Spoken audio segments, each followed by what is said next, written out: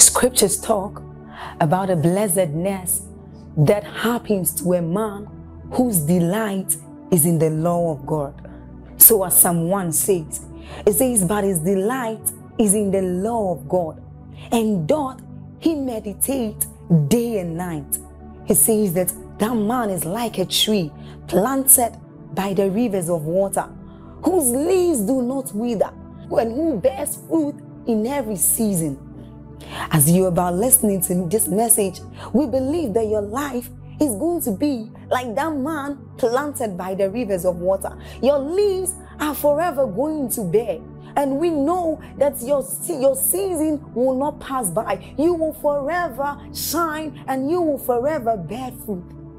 We have a lot of content to share with you. So we would entreat you to subscribe to this channel as well as like us hit that notification bell to receive more updates from us because we know that whatever content here is going to set you on course at every time. It's going to make you attain whatever stature that Christ wants you to attain. Thank you. Many times it is true that the labor of the foolish, the foolish there not being an insult, is a description of a kind of person. Hallelujah. There is a kind of person who is called foolish he may be sincere, but he's still foolish. And what makes a person foolish is the absence of the knowledge on how to get to the city. He said he knoweth not how to get to the city. And it is dangerous if such a man is not going alone. Because every other person going with him, he will recycle and reproduce his pain and his ignorance in their lives. So this is a proper deliverance service where God himself is going to be helping us to part ways once and for all with certain things that have limited us, limited the purposes of God in our lives, perhaps our organizations. Um, so I will request that we take, is it all right if we take 10 minutes to pray? Do you believe in prayer? We're going to pray seriously in the spirit, asking him to impart impart upon us the grace it takes to be distinguished in our lives. Please say after me, Father. One more time, say, Father. This morning, I obtain grace to soar in the spirit.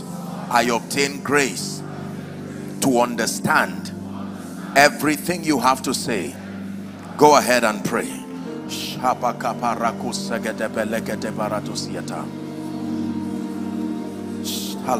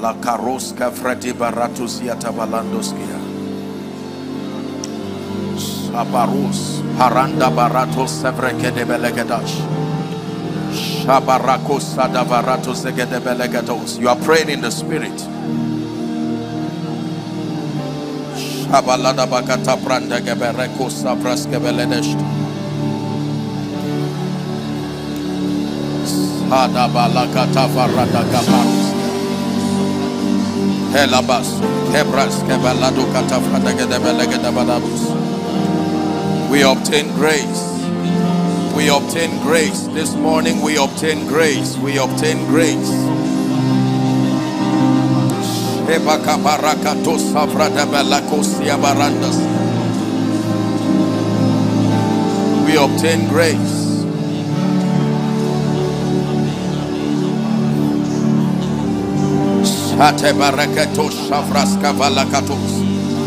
Kamprata barakatos shavregede beleke brasmenia. Hallelujah. In Jesus' name, we're still praying. An excelling life is every believer's heritage in Christ.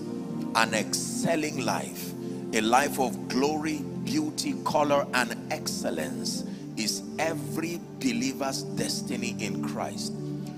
Deuteronomy chapter 28 verse 1 and 2 a scripture that has inspired me so greatly. The Bible says, and it shall come to pass, if thou shalt hearken diligently unto the voice of the Lord thy God, to observe and to do all his commandments which I command you this day. Watch this.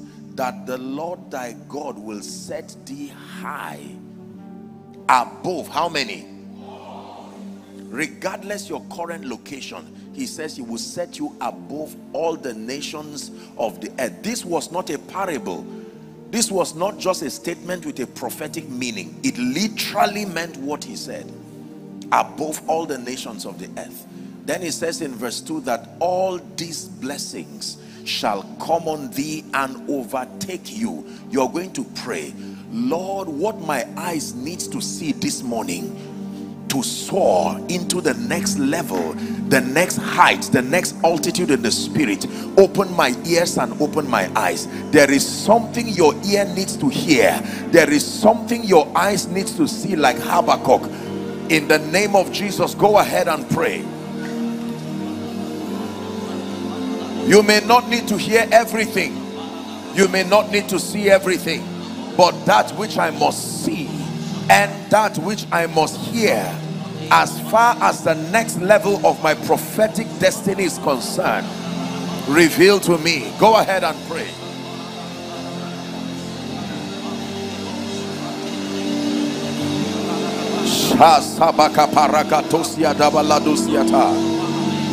Wash my eyes with with eye salve that I may see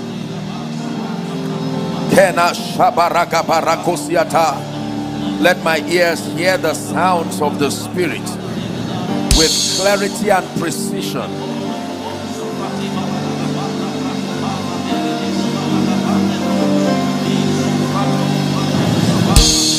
Ebarakosa brakata balagata freska belegadosh. Granta baka brakete pareto savraska belede barakotos.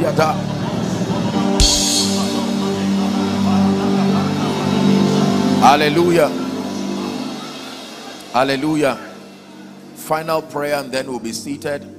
The Bible says they heard the word just like we did.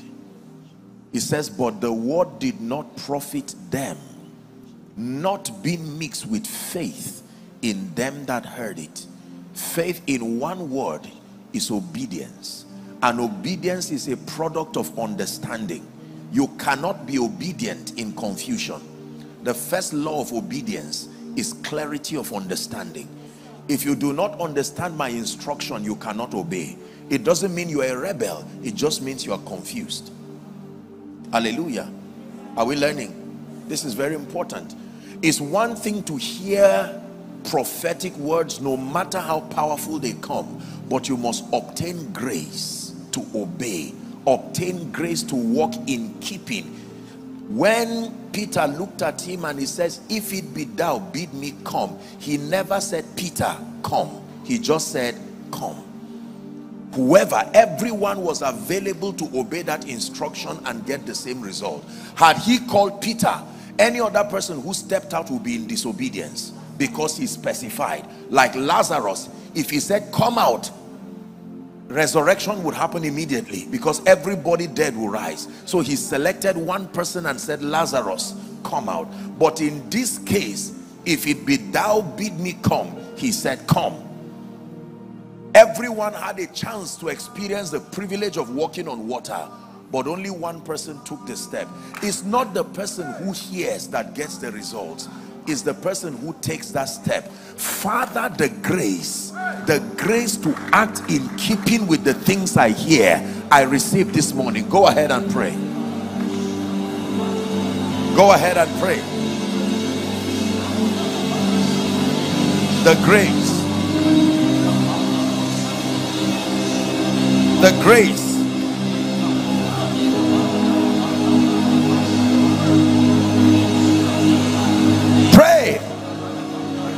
that as my direction comes as the instruction for the next level of ministry comes the next level of business the next level of influence in the spirit I obtain grace not just to hear not just to celebrate not just to be excited but to act in keeping. Hallelujah. For in Jesus name we have prayed Lord, we obtain grace this morning and we lean upon the help, the strength, and the wisdom of the Spirit. We pray that you will help us in Jesus' name. Please be seated. The God we serve is a mighty God. The God that we serve is a mighty God and he desires that his people become a reflection of his might, his power, his wisdom and his excellence. Hallelujah. It is often said that a lion would not give birth to a sheep or some animal of lesser quality. Everything delivers after its kind. And if it is true that we have been grafted into Christ through salvation, it then means that eventually our lives should be a clear reflection of everything that God is. Hallelujah. If it is true that he is mighty, then might should be captured in your life. If he's the all-wise God, then wisdom, superior wisdom should be captured in your life. Do you believe that? Yeah. If the cattle on a thousand hill belongs to the Lord, then eventually your life should be a reflection of the supplies of heaven. Hallelujah. Yeah.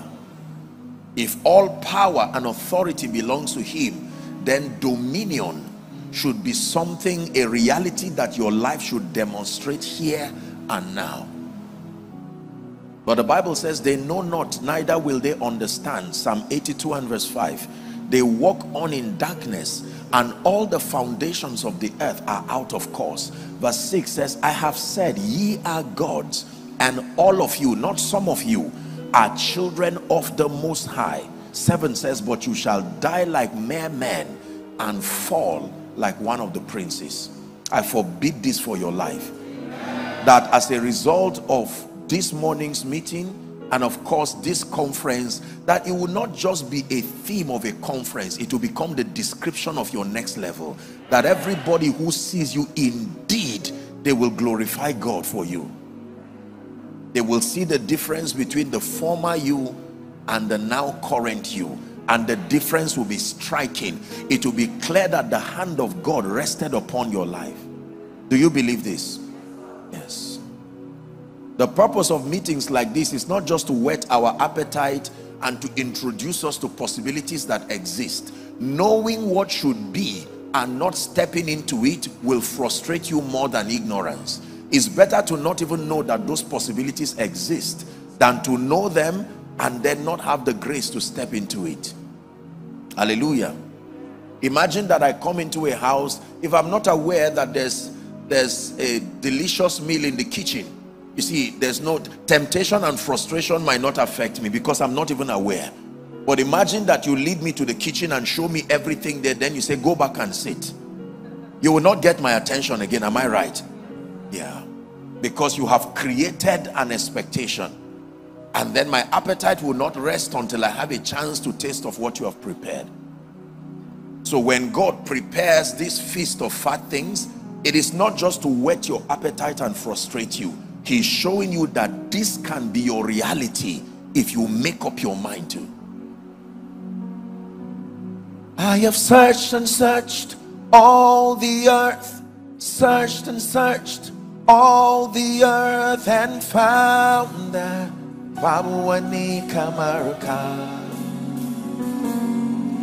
I have searched and searched all the earth, searched and searched all the earth and found that Let me tell you how this song came. A few years ago, I was in Cameroon and I went to preach for a conference and I just woke up as I would do in the morning. I was just worshiping and reflecting on my own life. I broke into tears and I said, look at my life. Look what the God of heaven can do with a man who chooses to believe him and this song came out of that contemplation I began to reflect on my former self and my now self what God would do in someone's life whether you're a musician or not it will lead you to writing a song that will guide nations to attest to the fact that he has lifted you that he has blessed you that he has exalted you in the name of Jesus Christ God lifts oh God lifts. God can honor a man. God can turn your life around, turn your ministry around, turn your organization. Is it not in your Bible that he has turned my mourning into dancing? have you stopped reading that scripture? That he has turned my sorrow into joy. This God God can anoint men. God can separate men. God can distinguish men God can place his hand upon a man and it becomes clear that God's hand is upon you. God can tell the nations to listen to you and no power in existence can stop your voice from being heard. It is true. God can even restore that a man can lose everything money reputation and my God can choose to restore. He can even resurrect. Hallelujah it's important that when we're gathered like this we understand that we're gathered onto a God that can do all this and more. This already will stretch your faith to believe him so that we don't come with our limitations apostle i'm owing right now as i'm sitting my mind. You see the reason why people get distracted in church is because of unbelief. They have not come into a comprehension of the person they have come to encounter.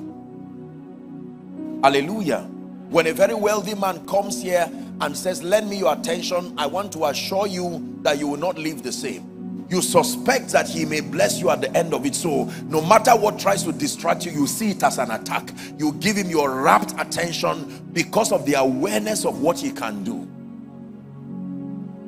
I have searched and searched all the earth searched and searched all the earth and found that Babu I have searched and searched all the earth, searched and searched all the earth, and found that Papuani Kamara.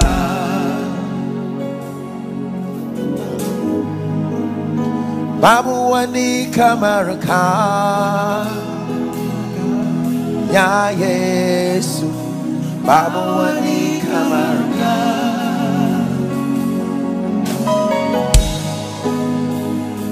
wani kamar Ya Yesu Babu wani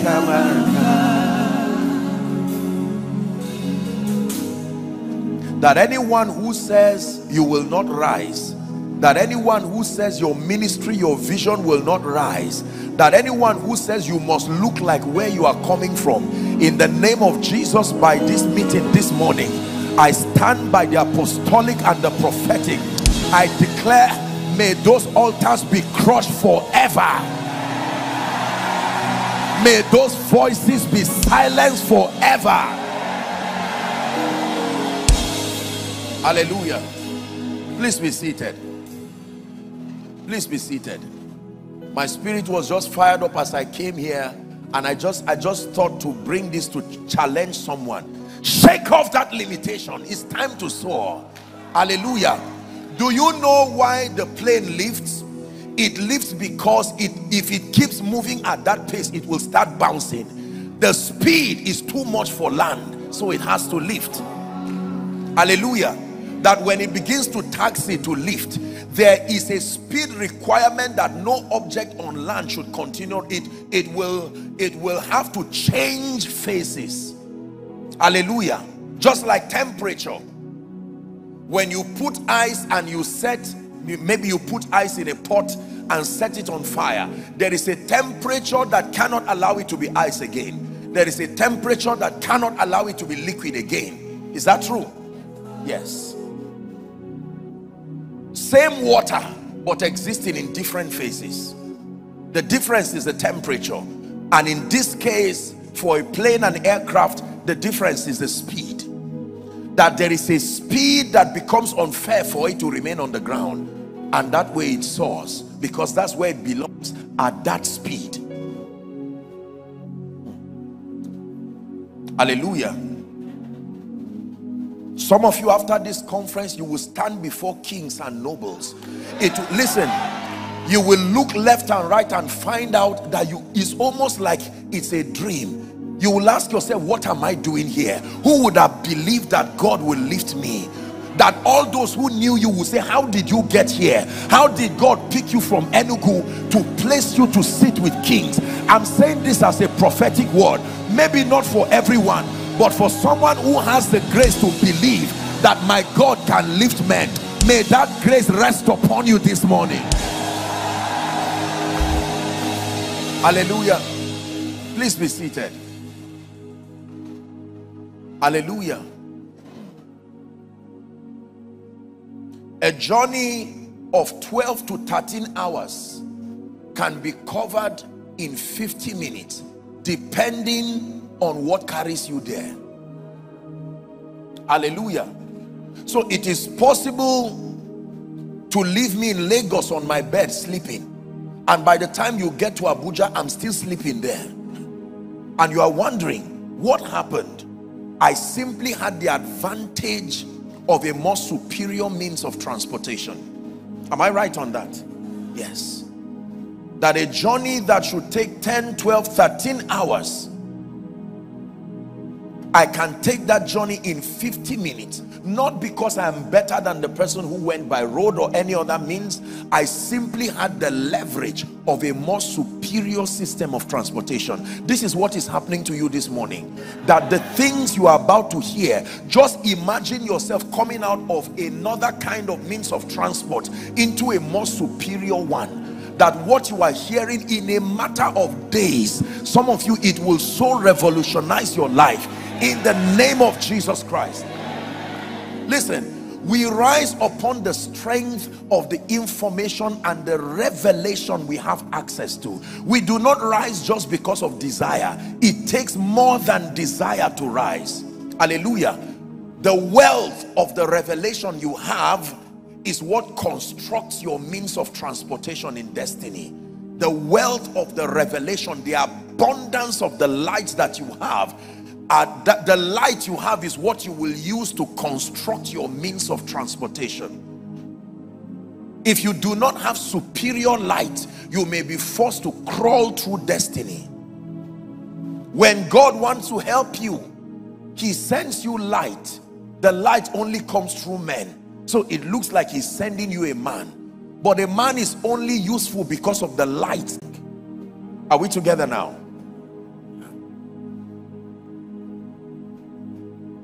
I've had the honor and the privilege of studying very successful ministries, successful organizations, successful believers. And when I say successful, people whose lives have been a very clear representation of God's intent there are others who have given flimsy excuses as to why their spiritual lives, their finances, their organizations and their destinies have failed to rise to her prophetic potential. You see, every time you find yourself in a limitation, there are two ways you can approach that situation.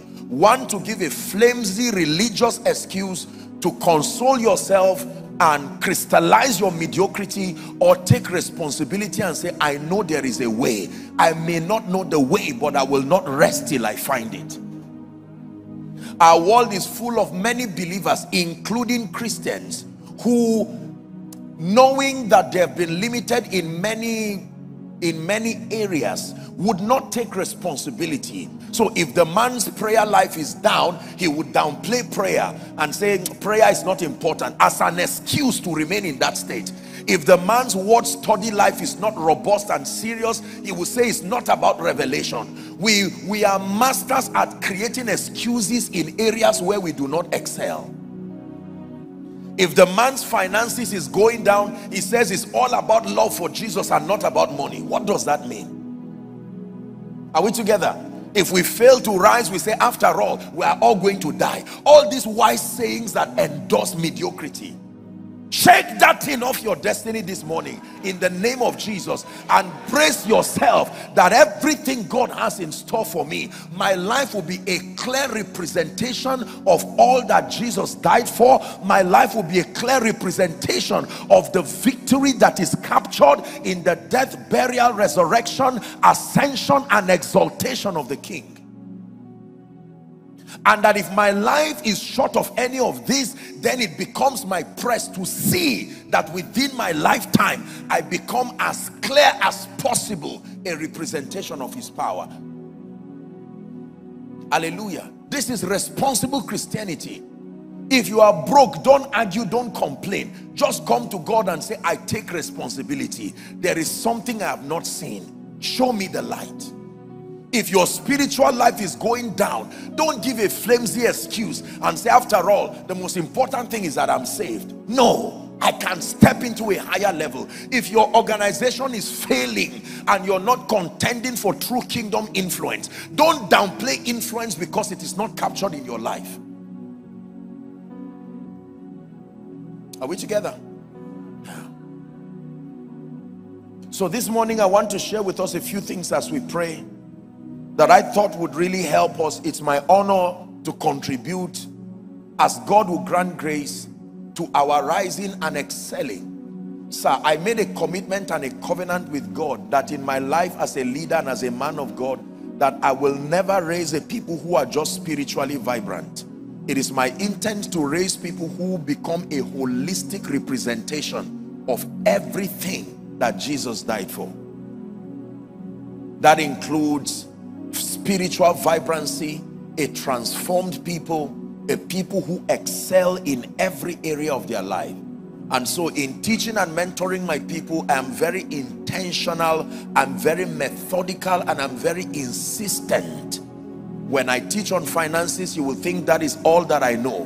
When I teach on consecration and spiritual life, you will think I will not teach on anything else. It is my desire to see that God's people be holistically built. It is dangerous to be lopsided in your construction because you will be the only representation of Jesus that someone may be looking at. And if you are not thoroughly built, you will misrepresent who Jesus is a few weeks ago I taught back home trying to help us redefine that there is a kind of Jesus we are selling to the nations that a whole generation is going to reject. Because that portrait of Jesus is not the one the Bible talks about. We have sold a weak Jesus a limited Jesus a Jesus who is not interested in letting men rise to positions of influence and nobility to live lives of dignity and honor. This wrong misguided narrative is what has plunged Africa as our continent and this nation where it is. So you find some of the failing businesses they belong to Christians. And we excuse it and say after all we are soon going to go home. And so it endorses carelessness mediocrity and so on and so forth. But this morning I hope to challenge us in the name of Jesus that there is a destiny for us in Christ and God desires. He did not waste these resources in our lives the word of God the blood of Jesus the Holy Spirit. God would not have granted us access to these rich resources just to live a mediocre life. And when I talk about an excelling life it's important that I let you know that everything I talk about is with respect to God's expectation with respect to the revelation of Jesus in and through your life. Hallelujah. Everything in your life only finds its value to the degree to which it contributes to making Jesus known to your world. It's important that we have that at the back of our minds. Praise the name of the Lord. Second Chronicles chapter 15 Second Chronicles chapter 15 and verse 3. I like us to read this scripture as loud as we can when it is projected. Ready? One to read, please. Now for a long season, Israel had been without the true God and without a teaching priest and without law. One more time, please. Now for a long season, Israel had been without a true God uh-huh. Ladies and gentlemen, in this simple verse of scripture lies the secret to territorial decadence. That every time Satan wants to destroy a territory, there are three things he withdraws. Number one, the knowledge of the one true God. Number two, he withdraws leadership teaching priests. No one to guide no one to mentor no one to instruct. And number three he removes laws. Show me a society that does not acknowledge God as their king. Did the Bible not say blessed is the nation whose God is the Lord hallelujah. It says, now for a long time, this tragedy unfortunately happened to the nation of Israel. Israel had been without the true God. And you know, Jesus said this in John 17, remember, and verse 3 This is life eternal, that they may know ye, you, the one true God, and Jesus, whom thou hast sent. So, back to that scripture. For a long time, Israel was without the true God. Number two, without a teaching priest. A teaching priest.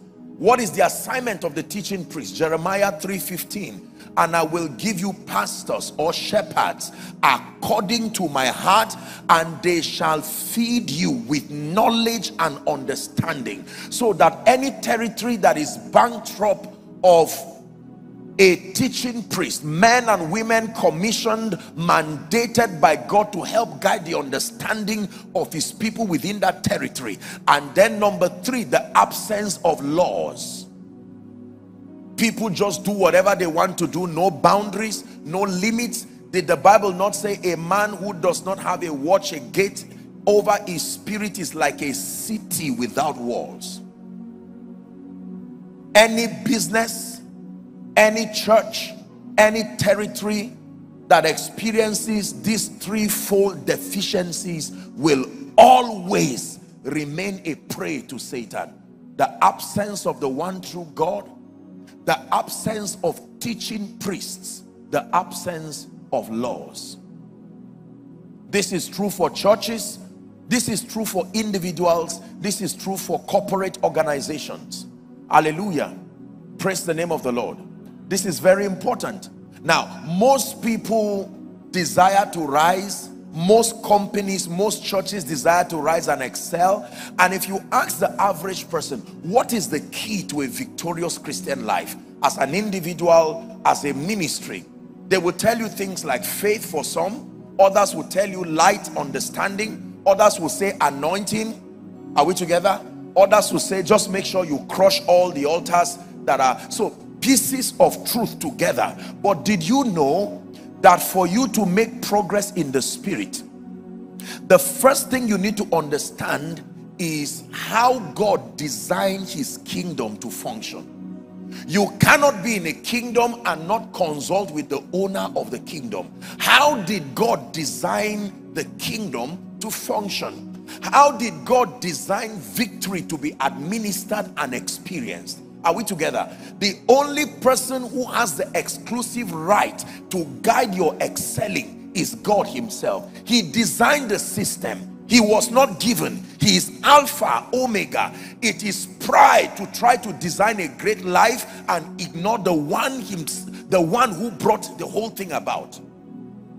Most people try to build ministries through all kinds of formulas, build businesses through all kinds of formulas. And did you know that while they are doing all that, God is by the side watching them and they ignore him or at best involve him when there is trouble. And when there is a semblance of peace, they say, you can leave now. The day I need you, you will come back again. But see what the Bible says. In the beginning, God created. It never said in the beginning, God and man created.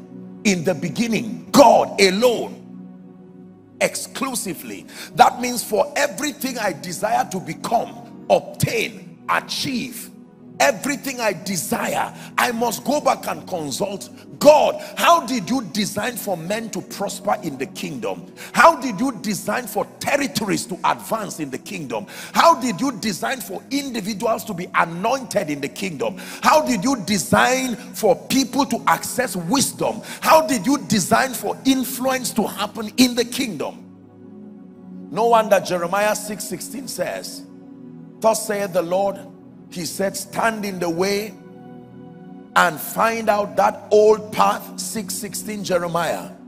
Ask for the old path he says wherein is the good way. You have to ask. You don't assume.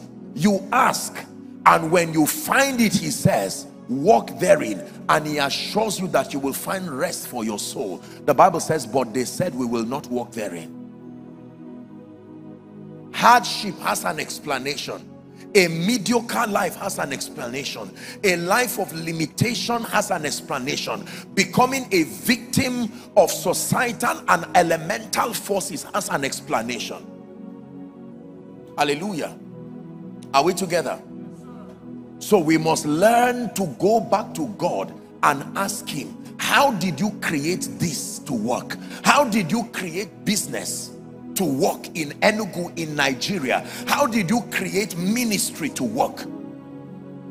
The rich young ruler came to Jesus and said, good master, what must I do to be saved? Very responsible gentleman. He didn't say, can you make me saved? What must I do? I know there is a responsibility component to this. What is my own part in it to be saved?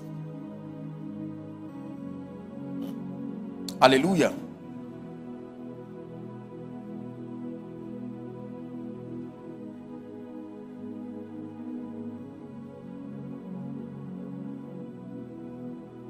Leadership is a very important aspect of our lives for many reasons. Without leadership, it is impossible for continuity in any life, any ministry, any family. And so the way God designed the system is that anything God wants to last, he creates a tripartite formation around it. Please follow closely. Hallelujah when God created trees, you will notice that a tree can stand for hundreds of years. Is that true? There are trees that are hundreds of years old. And here was the formation. There is the root. Is that true? And then there is the vine itself. Is that true? Then the branches that bring the fruit. That's how God designed it. Everything God wants to last, he constructs this kind of system that there is something the root connects it to the earth and continues to receive nutrients. Are we together now? Yes. The the vine midwives the root and then the fruit and the branches are the fruit bearing part of it. So when jesus was speaking he said i am the vine. He says you are the branches. You see that now? That if you will ever be fruitful you must be conscious of this formation. The moment you try to become the vine you are going to get into trouble that you are the branches and that your productivity only happens with respect to how connected you are to me. Hallelujah. Are we together now? So most people have failed to rise because they have failed to understand God's structure and God's pattern. In Ezekiel 37 when you study the Bible talks about something that really happened there with prophet Ezekiel the resurrection of the ones dry bones who became an exceeding great army. Did you notice that the first thing that happened was that the bones came together? Bones talk of structure. Life is useless. Flesh is useless until the bones come together.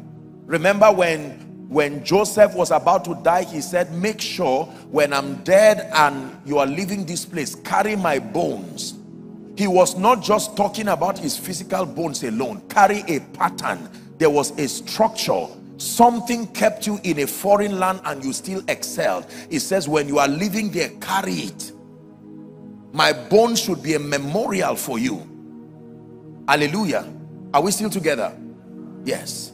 This is very important. So most people do not understand the power of structure and the power of leadership. I will talk a bit along these lines. No organization and no ministry thrives without understanding leadership. Now you see, the way we start anything is that anything from infancy may not seem to need leadership. If you are starting a business, all it takes is an idea and perhaps some capital and then you start and you're doing well same thing with a church most likely the church may happen between you your wife and maybe your children. And so the the necessity for leadership and the consequences of the absence of leadership may not be seen at that point. Hallelujah. It takes time and as people and organizations evolve you now begin to see the necessity for leadership.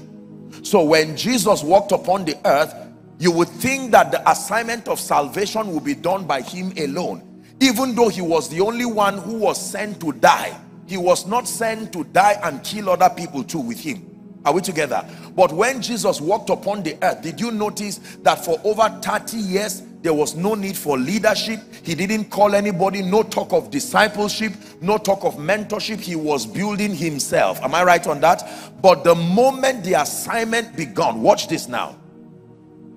The bible tells us that when jesus was baptized he returned in the power of the spirit and the next thing that happened was that he selected a few people. And the bible says he called them to be with him and then that he might send them. So he calls he prays all night and then he selects a group of people 12 of them. The bible listed all of them.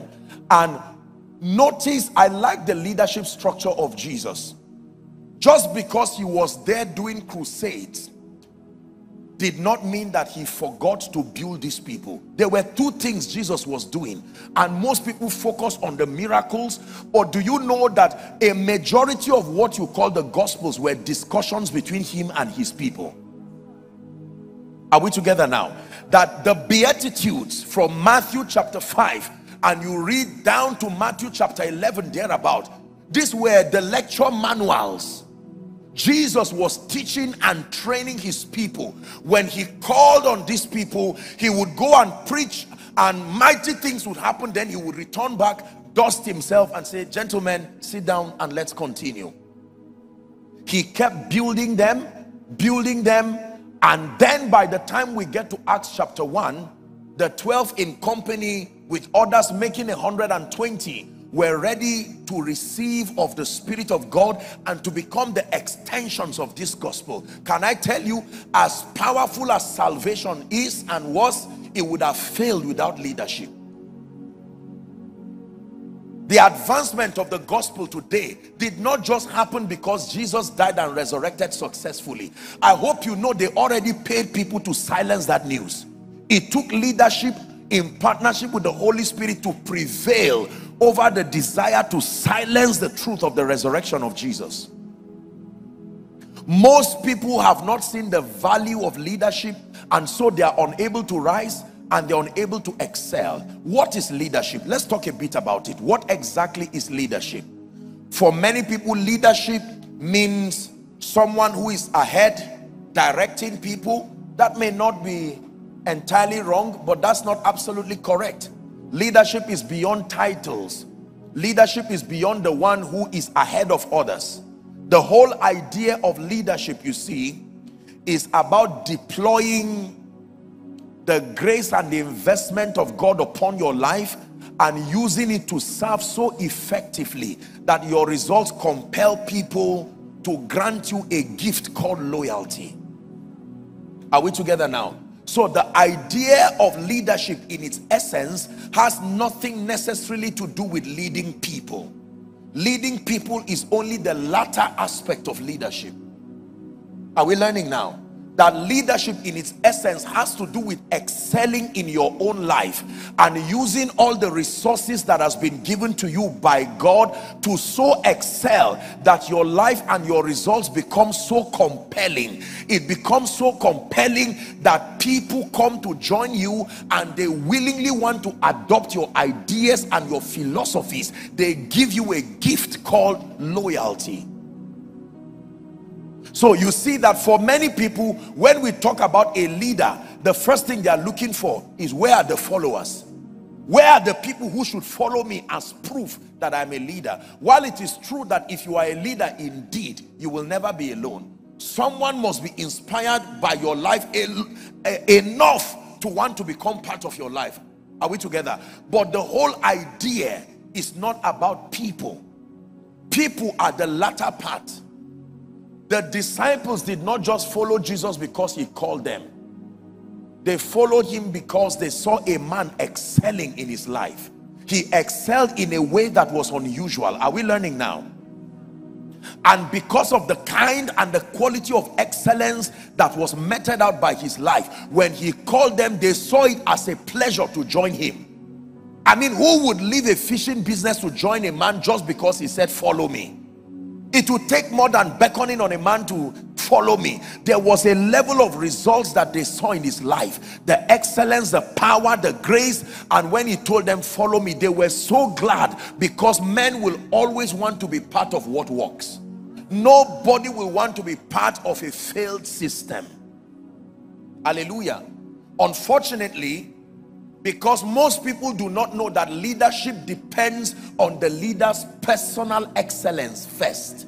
We are more title conscious and so all we want to do is to accumulate as many followers. Listen to me carefully because you will know why your church is not growing. Your church is not growing because you are focused on looking for members rather than becoming a true picture of what God has called the believer to be. Are you seeing that now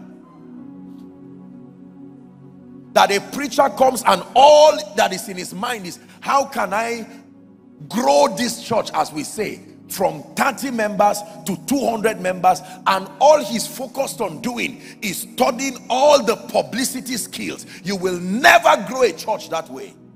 No. And believe me I know what I'm saying. People follow inspiration. People follow what looks like a revelation of what they should become are we together now? Most leaders in Africa fail because they are follower conscious.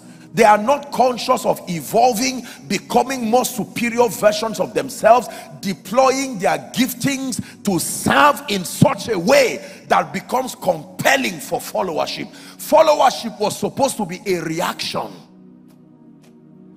not a call. Followership was supposed to be a reaction. Remember we prayed before we started this this and i took the journey very slowly so that when we start now you will understand. Isn't it amazing? This should be a paradigm shift for someone already. The next time you say where are my members? you ask the wrong question. Why am i not an inspiration enough? That's the right question why why is the anointing not speaking enough? The wisdom not speaking enough? Because the bible says where the carcasses are it says there the eagles will gather. So if there are people i don't know the the the, um, the number of people in enugu state but if there are this many people in Enugu state and the southeast and nobody is interested in coming to see your business or your ministry, don't blame them. They are not mad people. They have intelligence but they want to pursue what reflects their aspiration. And if you are not a motivation enough, they will not follow. Hallelujah. My dear people, did you ever meet Zuckerberg as a person? Did he ask you to become part of Facebook?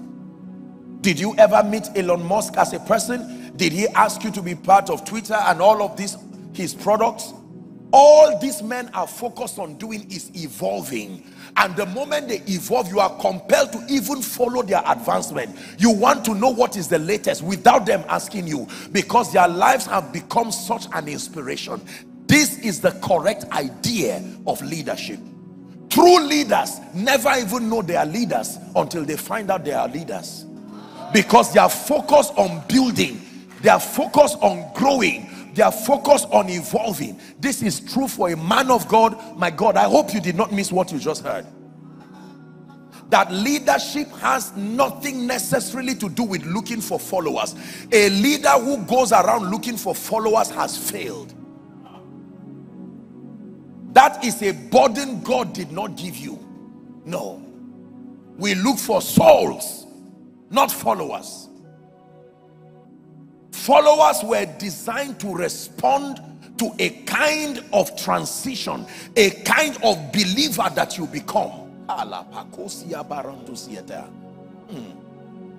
Ladies and gentlemen, if you hear right now that Bill Gates or any of the leaders in the secular has arrived Enugu, whether you are invited or not, you will be surprised that as calculated as you are, you will find yourself there hanging around the corridors of where he is.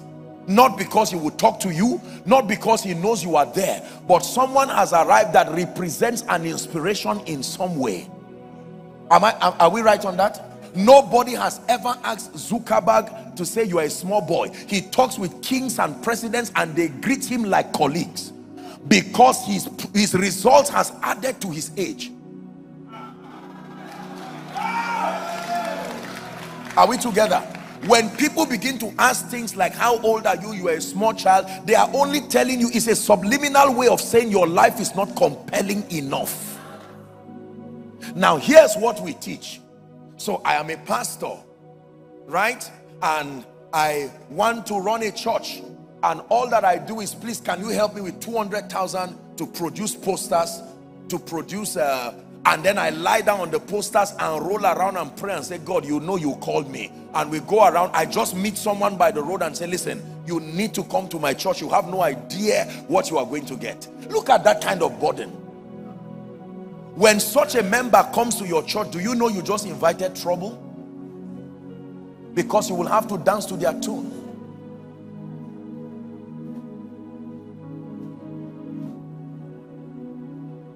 How about businesses? There are certain parts that have you have you seen certain products that are only sold in just one or two stores? And well, this is a business area, so I'm not sure. Everybody sells everything. I'm, I'm not sure, but there are times where you can go around only to find and sometimes you will hear that the man locked the door and went to sleep you will look for the man's house and say sir i need to travel this spare part they they say you are the only one listen if you listen to what i'm sharing with you you walk out of this place you will never have to walk alone again because you will find out that something about your life you will soon be learning that competence has a presence. It can invite the people mandated to look for you. Yes it does. Yes it does. Yes it does. Absolutely it does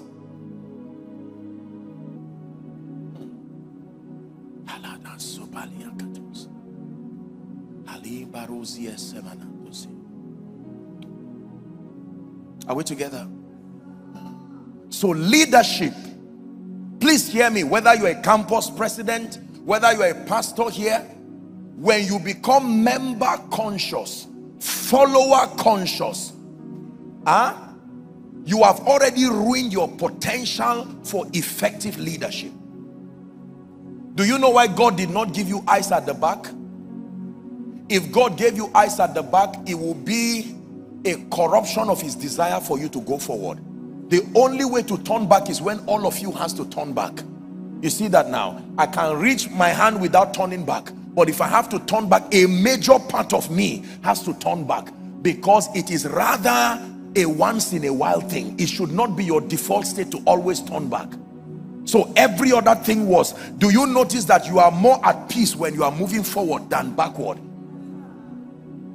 god designed it that way as a message that we are supposed to always be going forward the path of the just being as a shining light that goes more and more even unto the perfect day. So have this at the back of your mind ladies and gentlemen that looking for members looking for followers is a poor approach to leadership. That leadership is about rediscovering yourself taking advantage of all the forces of advantage that God has given you and to use it to live such a dexterous life that on the strength of your results your results become so compelling for everybody around your area it becomes impossible for them to ignore your presence. As a result on their own accord they come and want to follow you we call that loyalty. They give you the gift of loyalty and on your own part we call it influence. Now they allow you to influence them. What does it mean to influence? To influence means to compel men to buy into your ideologies without using force or cruelty. I have influenced you if I can get you to think along this line without putting a knife on your throat so that your life now becomes a product of these philosophies hmm. are we learning yes. this idea of leadership changed my life and gave me peace because when you become member and follower conscious you will never be able to allow succession there are many consequences to the prior belief there as you'll be learning. There are many wrong mindsets that african and sadly nigerian leaders have. That's why there is no continuity. You do you hardly find 100 year old businesses in nigeria and africa because of their idea of leadership. You see that now? Yes. Blessed be the name of the lord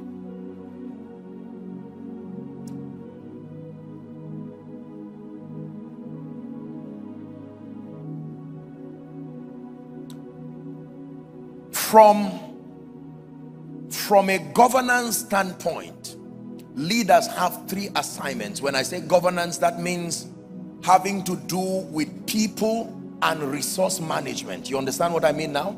Yes. From a standpoint of people and resource management leaders have three mandates. Let me give it to you. Number one the first mandate of any leader with respect to people now is to harness and coordinate potentials. Please write. To harness and to coordinate potentials. What does it mean to harness? Please pay attention. Especially if you're a minister of the gospel this is a revelation that God is going to bring for you now.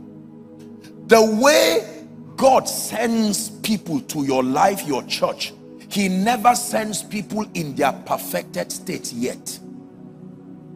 To harness means to see potential. To harness means to have the faculty of discernment. Are we together now? Yes. If not you will reject the greatest gift God gave you simply because he did not come in a form that can be appreciated. I can tell you this any leader will tell you that the people you now celebrate in his or her life if you had seen them when they came you would not want to receive them as a gift. Now this quality of leadership many people do not have. We usually want to see ready-made people.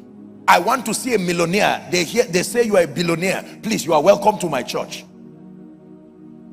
whereas there are five other potential billionaires who can be eternal support if you are willing to see their destiny in Christ and then to laboriously raise them. Listen from a governance standpoint you are not a leader if you lack discernment. Is the reason why every man of God your the next 10 20 years of your church is not in view if you cannot see those that will serve now even when they've not seen themselves the person may think I'm an usher but you are seeing your next prayer leader even though he does not yet know. That is leadership. Leaders see far ahead through the faculty of discernment. That someone as he's answering the altar call you are looking at that young lady and you can see you can see through her and see her heart that this will be one of the most effective secretary in this ministry that is why when you see the way leaders raise people, it takes knowing God and trusting them to really know what they are doing.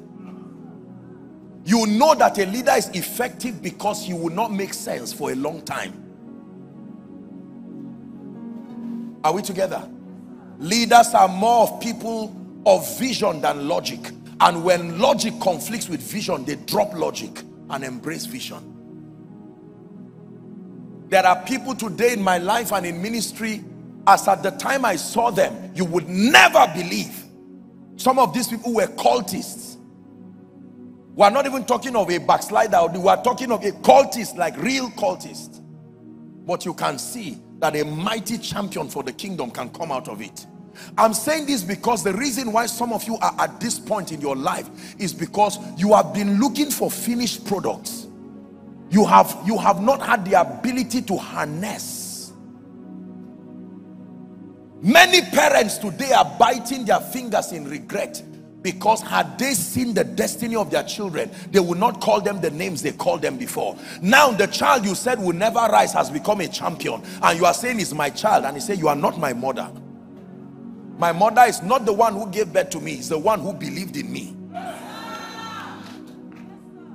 Today, many people are claiming a stake in destinies they did not invest in because they did not have the opportunity. Are, are, we together now? Yes.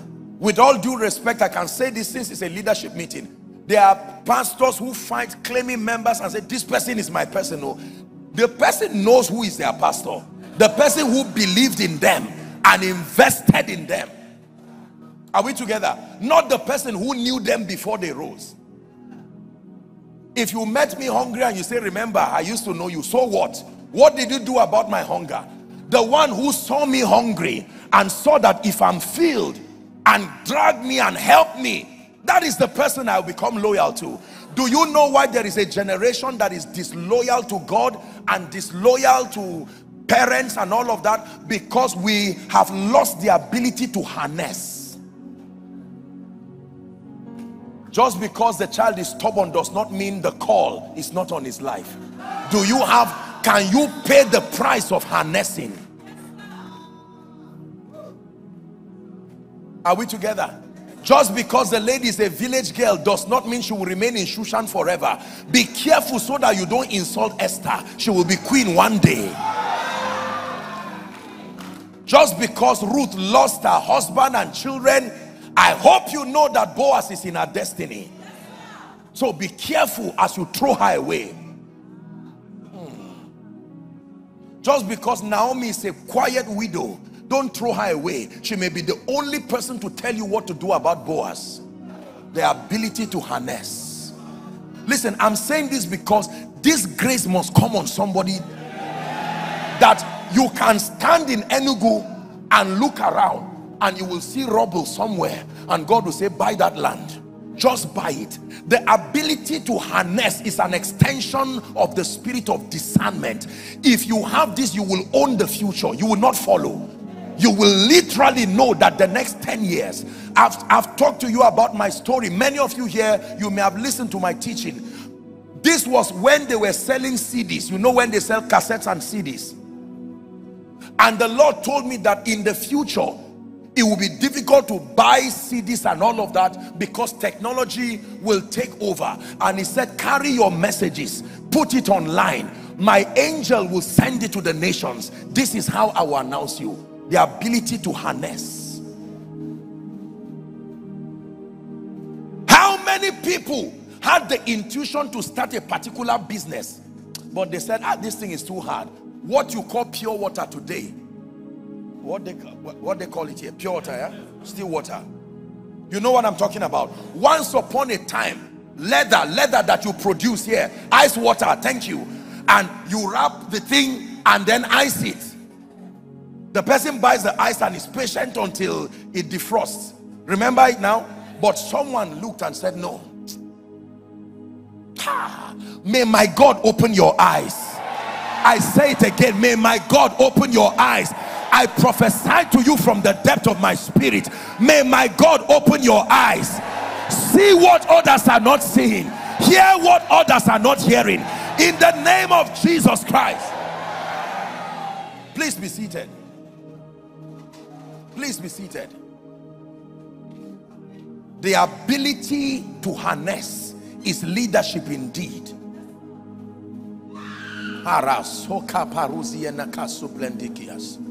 the ability to harness. The ability to harness.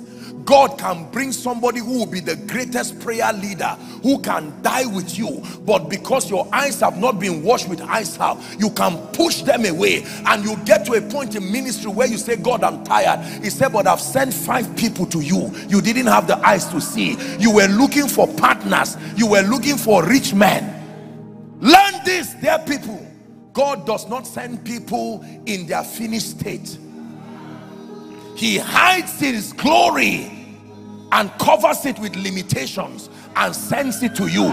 Do you know why? So that you become part of their growth. That is how you end their loyalty.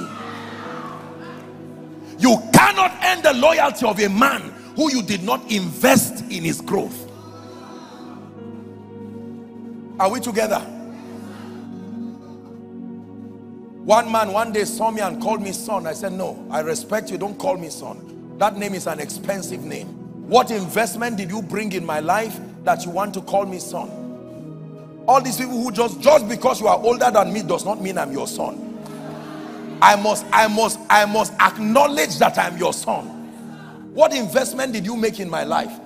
People just claim success and bully you and say, look, I, no, no, sir.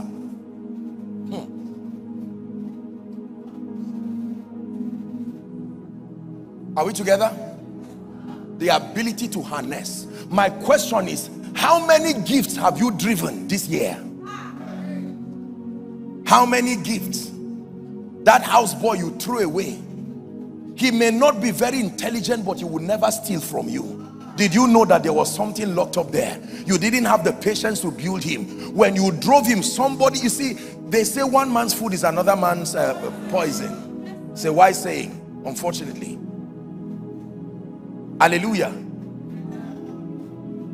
So you drive someone and then before you know it, someone will receive that someone you drove and say, listen, I don't mind building you. Sincerity is what I've been looking for.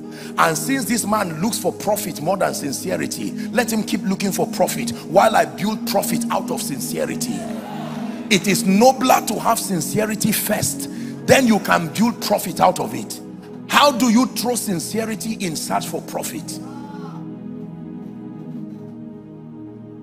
Hallelujah. Some of you have thrown some of the greatest gifts God gave you because you could not see. God gave you children and you threw all of them, speaking to them every day. I'm not proud of you. Look at this other person's child. At 21, they are already building a house. Shame on you. The way you are like this, no brain, no husband, no money, no nothing. You have brought me shame. And the children keep looking at you. And they said, all right, since you have officially proved that you do not believe in us, let's go and look for those who believe in us. And then they come and meet someone who says, you know what? Uh, I see that you have a lot of problems. You just need to learn. Sit down. This is what Jesus did to them. He gathered these ordinary men and said, gentlemen, sit down and watch what I make out of your life after three and a half years even though they ran away when he came back as a leader he still gathered them. He said i understand. Even me i was afraid at some point. I don't blame you. And when they saw his ability to harness them they died preserving the gospel do you want people to be able to die for you? You think it's everybody that can die for you? Let trouble come. That's when you know they never believed in you. They were just with the ceremony of salary. They never believed in you. Many leaders today are pained because they did not invest in people. They only recruited people. Beyond recruiting, you see, I run my life organizationally speaking and ministerially speaking. I turn everybody under my care. It doesn't matter whether you are coming as an employer or you are coming as a son as a daughter it does not matter. I give them a family mentality so that beyond money they know they are stakeholders in this vision. I invest in them beyond what they receive. If salary is the only thing that joins you with say your driver you you are in trouble.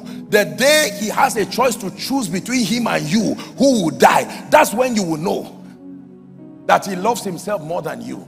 It is amazing how we magically believe as leaders that just because people say daddy mommy automatically they are loyal to you. Loyalty is an expensive product. You buy it with years of investment not inheritance are we learning this morning? Yes, sir. I once met a gentleman, true story, I think two or three years ago. I met him. I had preached years ago in their university, somewhere in the Northeast, and he got born again in that conference. Later would become the president of, I think, the FCS or so, and then had long graduated, set up a real estate company, and then one day, he comes to me, I'm done with service, seeing people, and he says can you remember me? So i said not exactly. And he tells me that story and says today god has helped me. I own a real estate company. I just brought something to come and tell you thank you. Don't be annoyed.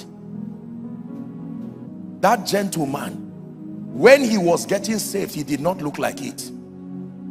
But since you were part of his history you qualify to be part of his future. If you were not there when i was hanging in the cross please when you see me sitting at the banquet don't come because you are certainly not invited I'm saying this so that many of us will start making adjustments now. There are people you need to call to say, come, come. I can still work on you. Come back. Come. I can work on you. Um, you are very hardworking, but I see that this tendency for stealing. Okay, let's work on it. Go and fast for three days and come. You are, you are here for business, but I will deal with this spirit of stealing. The ability to extract evil and separate it and keep the good is mastery of leadership. That you can see people and say ah this person has this this person has this. You see that now? And you are able to say you know what? You you seem to be a very dishonest person but you are very diligent. Let's let's at least let's make an attempt to work on that dishonesty. Leadership is hard work at a governance level because your first mandate as a leader are we learning already is to harness and coordinate. What does it mean to coordinate? To put people around the areas of their strength so that you make a team out of them. There are people who on a scale of 1 to 10 their honesty level will never cross 4 but you need them. So you know where to put them. You never put them in accounts. No even if you fast for one year the temptation on a scale of 1 to 10 as a leader you have gauged them. Their honesty level would not when you preach about rapture it rises to 4 can you imagine that kind and yet you need these people in your life. I wish i can tell you you will only having the best hands does not mean having the perfect hands. You design the system that makes it the best by putting all kinds of people. So you know where to put thomas. Don't drive him. You will still need him. You know where to put peter. Peter is not patient like john but he must be part of the apostles. When you want to reveal certain things about divine realities go to john he's called the beloved. Peter is not called the beloved. Peter is a man of faith. He will deny you and come back and say sorry john will stand with you on the cross. Do you know how to see these kinds of people? I hope i'm not wasting your time this morning. As a parent god gives you four children. You can design a system around these four there is one who is very insecure but honest. So that person has a tendency of gossiping what everybody is doing in a way to secure you as a you know the person. The person is not hardworking but you can trust the person with information. There is one who does not care about anybody including you the parent. They want to make it they love you but they will not tell you. They feel embarrassed to be weak there is another who does not care really. Wherever they are just like water you put them in a bowl they look like a bowl. You put them in a plate they look like a plate. Then there is another one that Satan wants to take advantage of. Your ability to sit down and say I can build a team out of this. This one has a strength of speaking he just does not have the ability to coordinate himself. So my response to this person is to give the person more confidence because that is his deficiency. This one does not need motivation. He's self-motivated. What he needs is to create limits to his passion. This is leadership. You are literally designing the glory of God in lives.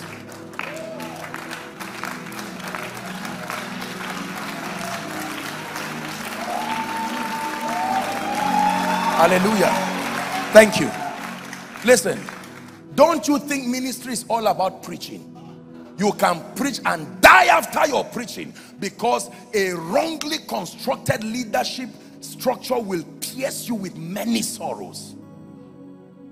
It is my assignment. I can tell you, as many as my people are, I can write books on almost every one of them. I know their strength and their limitations. I know what they can do and cannot do. Rather than driving them you build a team around them. You know that this person there are people who are not intelligent but they are obedient. If you put them in an area of creativity you have lost it. But give them instructions. They will obey to the latter. Those guys should not be heads of units but you put them in the most active position within the department they will go to the market and buy clothes they will bargain for one hour to save the department money there are others who don't have that time hallelujah there are those who will you give them 10 naira they will tell you i use one naira I'm so sorry I was thirsty. I used one kobo out of that one naira to take water. I will return it. They are that meticulous. There are others when you give them 100 naira, just know that even if you send them to buy something of 30 naira, accept the rest as a seed. Just focus on the results. But the change for sure will not return. Say amen.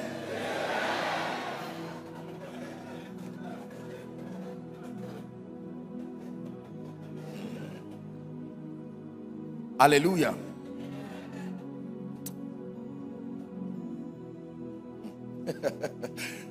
Thank you, Jesus. Let me finish. So the first mandate of a leader from a governance standpoint is the ability to harness and coordinate. Write that down. That's number one. Harness and coordinate. Say harness. Say coordinate. Harness and coordinate. That harness part, we are going to pray it. Because in the name of Jesus, your eyes must see. Your eyes must see. Eyes must see. See what others are not seeing. See what others are not seeing. See what others are not seeing. I know someone who during COVID in South Africa, when other people, is an Igbo man, he became literally a billionaire without exaggeration because during COVID he knew that eventually they will have to meet people who will buy this um, um, what they call the thing the nose mask. Yes the face mask. And when other people were just trying to smuggle at a retail level he went to the government and said listen this is what I can design for you. There are so many people. I can I can be sure to bring you at whether from China or wherever. Had an intelligent negotiation with them and then they signed the contract. He became one of the few main suppliers. This nose mask you see. When the man called me and said it, I said, ah, this man. I said this, uh, to be honest with you, I said these people, what grace did God give them like this? Whereas there was someone there shouting and saying, God, will you not change my life? And God is saying, are you not seeing? I gave you eyes different from hands so that you can see.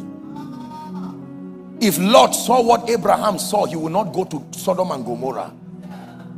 He looked around and did not see anything and went and settled near Sodom. And God told Abraham, he said, now lift your eyes northward, turn not, uh, southward, as far as your eyes can see. Is it all right if I ask you to lay your hands prophetically on your eyes and say, Lord, open my eyes to people open my eyes to mantles open my eyes to opportunities what is my wife carrying that i'm not seeing? What is my child carrying that i'm not seeing? What are my fellowship people carrying that i'm not seeing? What is house on the rock carrying that i'm not seeing? What is reverend edwin carrying that i'm not seeing? What is my business carrying that i'm not seeing? What could be that is not yet? Oh god open my eyes to see it. Hallelujah. Praise the name of the Lord. Harness and coordinate the ability to see potentials even when they have not become. The ability to see potentials when they have not become. Hallelujah. And this is what I'm doing even in our ministry. Training leaders, the current leaders to be able to see others you cannot build a global ministry when you don't train people to see. You have to train. The ability to see can be taught. That if I look at you right now, I should be able to get any pastor with all due respect in House on the Rock here and say, build me three teams and you can reproduce the results because of your ability to see. And from the people seated here, don't go outside just interact with the people and look for five people for me I did something not too long I while we're preparing I'd not been to my village for over 20 years and so like two three years ago I decided to go there and put a crusade and among the people who were setting up there was a young man that I kept looking at immediately I saw I saw my next leader And the guy was involved in the finances. He was very accountable. He was doing what he was doing. And I was smiling. That's leadership. And you go back to God and say, this is this. I carried this young man from the village, brought him to Abuja for one year and I trained him. I now sent him back to go and raise 25 other people.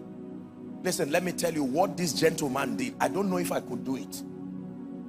I had to travel a few weeks down and ask them to come the kind he turned these 25 people into you know the foxes of Samson this gentleman went with this spirit I never got an auditorium got everything all the programs charity welfare boreholes everything. I just send the resources and tell him send me updates. One year. If you have not been able to raise anybody you are not a leader.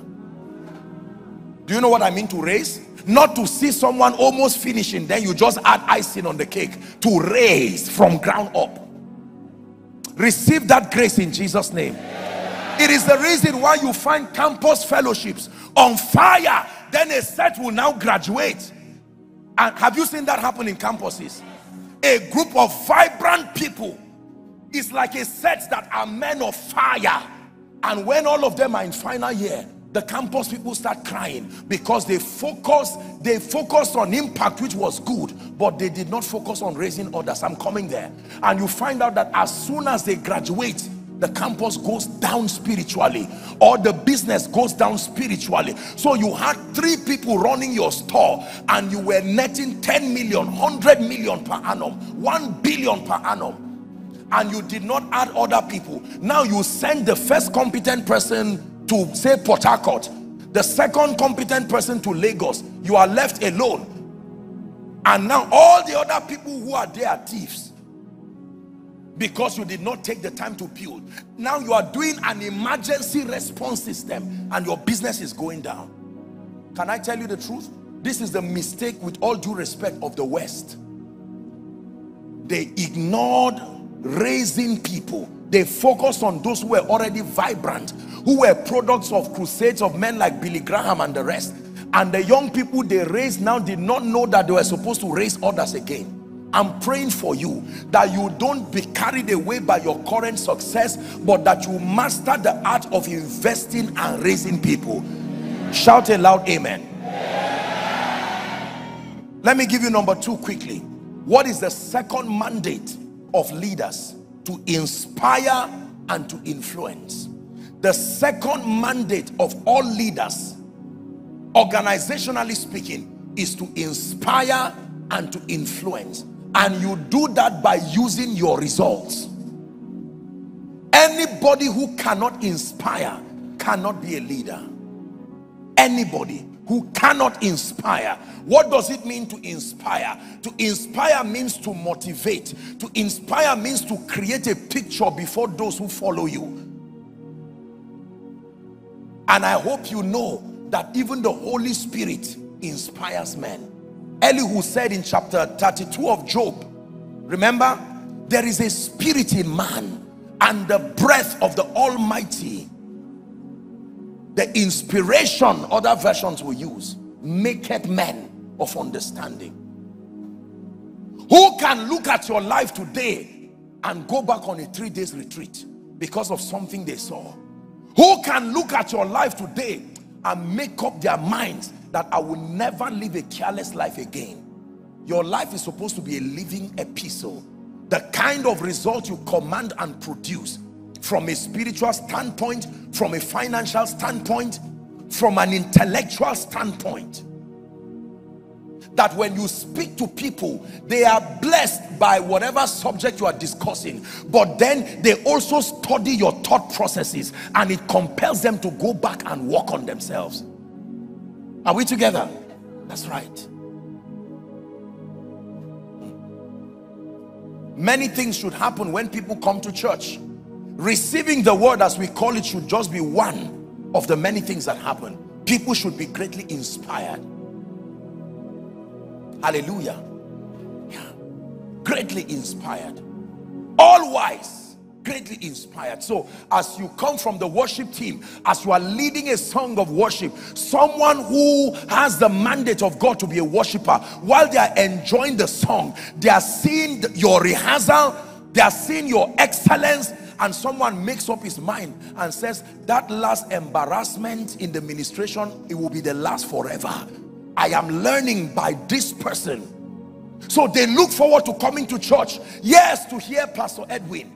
But before then, they want to hear this person. Have you noticed that there are certain people, congregations are happy when they come. When they come up. It is not politics, it's inspiration. Every time they come, they are happy. Let's hear what he's going to say now. Lesson number next.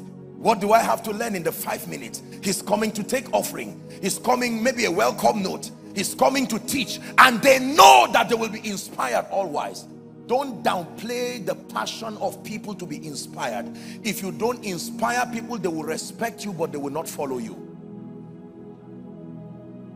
You can inspire a generation this is the whole idea of being an influencer. Unfortunately, that concept is always to the negative, sadly. An influencer is not someone on social media. An influencer is someone whose life is so dexterous, whose result is so compelling that people will want to adopt first your philosophies because you represent a future they desire. May you become such a one in the name of Jesus Christ. Becoming an inspiration demands that you be competent. Please write it down. Becoming an inspiration demands that you be competent. At every level of your growth, you can be the best current version of yourself. If you are a preacher and you are coming to the pulpit to preach, for God's sake, do your homework. Don't come on the pulpit and say, don't worry. Whatever you hear, just receive it like that. Now, even if what you are saying is the truth you are not inspiring. As a leader you don't come and display weakness before your people. You see you don't display weakness and say i'm being real. You have to be careful. Because they look at you and they lose confidence in you. Everybody wants to follow a person. Now write this down please. Psychologically speaking there are six psychological needs that every man every man craves for. Can i read the list for you? This is proven now. We're, we're in a leadership meeting so am i am i at, at liberty to do that? Number one the greatest psychological need of all men six of them together. One is the need for security. Please write it down. Men will do anything to find security. And if you are a leader that can give them a template and a vision of security spiritual security financial security anything that gives them security. What is security? The ability to minimize or if possible drive their fears and their confusions. Security. Number two variety. People like newness. Mass communication thrives on this. When you are watching a football match even though you know it will remain on the internet there forever you still want to be live and you can pay to be live. Breaking news breaks because it is new. Am i right on that? Nobody visits last week news with the kind of passion they have for today's news. Now everybody wants to know what is happening between israel and hamas and all of that. You see now. Variety. It is the reason why god gave man creativity so that you can bring various forms of delivering the same result are we together? Is the reason why you can see a Toyota car among your car collections. Then you go and buy Lexus, even by the same company. Then you go and buy Mercedes. You buy, they are all cars. After all, they all move you. So why the passion for that variety? How come you have a black cloth, a white one, then you have a green one, and you still plan to buy a red one, maybe after this conference? Am I right on that? So what, what, what, and you will, you will not agree that it is lost. You call it variety. Is that true? So all men crave for variety. Number three, all men crave for significance. This is particularly unique with the male gender. Significance. Why will I quarrel you when you call me brother Joshua Selman? Why do I get angry? I say, my friend, don't call me brother. Is brother an insult? Brother is not an arm robber. So why am I angry that you said brother? like some of you. I remember many years ago, I, I, where did I go to preach for God's sake? And they brought one guy, one musician, and they called him one kind of name. When he came up, he rebuked the people and he said, I am not this, this I am pastor this. Ah, I said, my friend, you would have just ministered and gone to sit down. You have, you have closed the heavens that, hallelujah, significance. To know that you matter, to know that you count. Don't downplay people's sense of significance when I came in, I saw, and thanks to Reverend Edwin and the entire leadership, the warmth and the love right from the airport, the hospitality and all that I've received since I came here, very phenomenal, and for this I am grateful. But its significance. Hallelujah. Can I tell you, people do not care what you know until they know that you care. They don't care what revelation, what Greek and Hebrew. By the time you make people feel stupid and you make them feel less of themselves, they will love you, but you will never earn their loyalty. Is someone growing today? Significance. So we need to be careful and manage the way we speak to people and the way we generally operate with people knowing that the moment people feel insignificant around you there is a negative energy that comes from you to them. There's a pungency that comes from you to them. They will run away every time they see you and they will never support anything you are part of. Are we learning? Number four love and acceptance. The fourth psychological need of everybody including you who is writing is love and acceptance. The very reason people join occultic societies you interview many people who join occultic societies they will tell you daddy did not believe in me mommy did not believe in me. Is the reason why sadly we are losing our young ladies and even the gentlemen to all kinds of ungodly systems. Because the love and acceptance did you know that the worst thing that can happen to any man is called rejection? Rejection is to be given a perception that you are not needed within a space. It's a terrible thing. Hallelujah yeah. It's a terrible thing. Rejection is so is so serious that the bible gives you a counsel that when you get to a place sit at the back first. Just sit at the back there to save yourself shame. If you are worthy of honor they will usher you to the front. But if you come and sit at the front and they now transport you gently to the back it will be a memory you will have for a long time. Rejection is a terrible thing. Hallelujah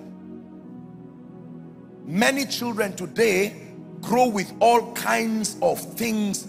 They they hate people and they hurt others because they grew up with this rejection that they got from parents. Sadly some of those parents were also preachers saving the world but destroying their own home. So you call your child a stupid useless boy very ugly girl. I don't think any man will marry you. You are such a stupid person. You are taking the the least position in class and then they are absorbing these things absorbing these things absorbing these things. By the time they become teenagers any gentleman who says wow you mean there's such a lady in this world and have I been blind? You know how men talk. The lady knows that this boy is going to destroy her but she cannot resist him because he's the only voice that ministers love and acceptance Hallelujah. Are we learning? Number what now? Number five, growth. The fifth psychological need of everybody is the need for growth. What does it mean to grow? To become, to evolve. Superior versions of yourself. Mother, when you give birth to a baby, it will be unfair to expect that baby to begin to walk and talk after two months. That would be a miracle, I think. Am I right on that? But after a year or two, perhaps three years, and the child is not walking, not talking, not coordinating himself, you become disturbed because we expect growth. Even the baby expects growth. When you plant anything, corn or yam, millet, whatever it is, you give it time. But with time, you want to see evidences of growth. Am I right on that? So human beings crave for growth That's why when we write exams and the results come out, when we pass, we rejoice because it means growth. More than success, it means growth. Number five, six, six, impact and contribution. The sixth and final psychological need of all men is the need to be perceived as one who is impactful and one whose life is counting. Hallelujah.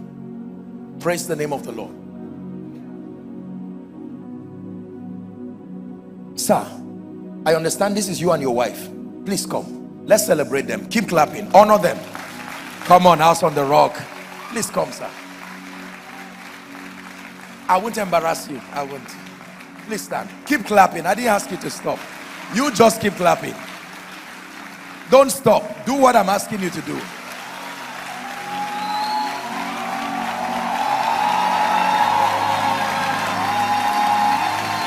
Stop.